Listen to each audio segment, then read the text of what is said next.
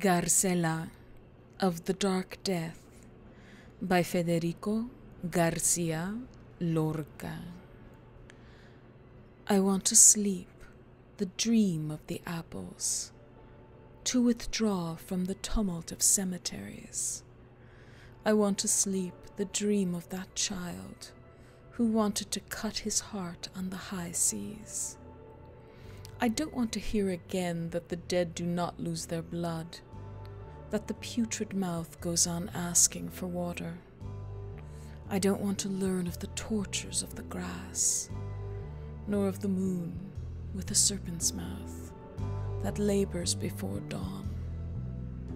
I want to sleep a while, a while, a minute, a century but all must know that I have not died, that there is a stable of gold in my lips, that I am the friend of the west wing, that I am the intense shadows of my tears.